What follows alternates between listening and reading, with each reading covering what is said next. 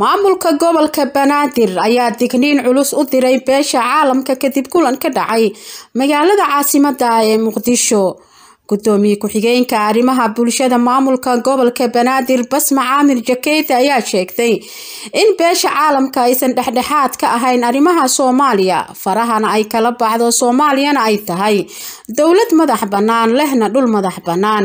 Gudoomiye basma ayaa dhinaca kale baaq u dirtay bulshada maamulka gobolka in ay ka shaqeeyaan nabadda magaalada caasimada ee muqdisho si looga digtoonaado amni darada beesha caalamka waxaan u sheegaynaa beesha caalamka arrimaha soomaaliya dhexdhexaad ha ka noqoto. Ha ka noqoto dhexdhexaad sababtoo ah dhexdhexaad maaha beesha caalamka.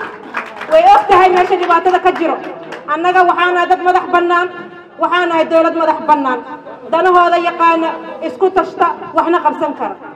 Soomaaliya waa la yaqaanaa hogweynidii iyo xiliyadii sabansabankii heerkay ahayd. Waa la dareemi karaa. Maanta soomaaliya way soo jeedaa shalay haddii lagu horkacsan jiray. Shalay haddii soomaaliya burburkeeda loogu faa'iidaysan jiray. Maanta ganacsatadoodii dadkoodii horumarkoodii ayaga ayaa yaqaano bulshada ku nool magaalada muqdisho waxaan ugu baaqaynaa haddaan nahay beesha soomaaliyeed ee beesha shanaad inay u tashtaan magaalada. Inay magaaladan aysan u ogolaan inuu cadow ku dagaalamo shamis cabdi geedi warbaahinta city muqdisho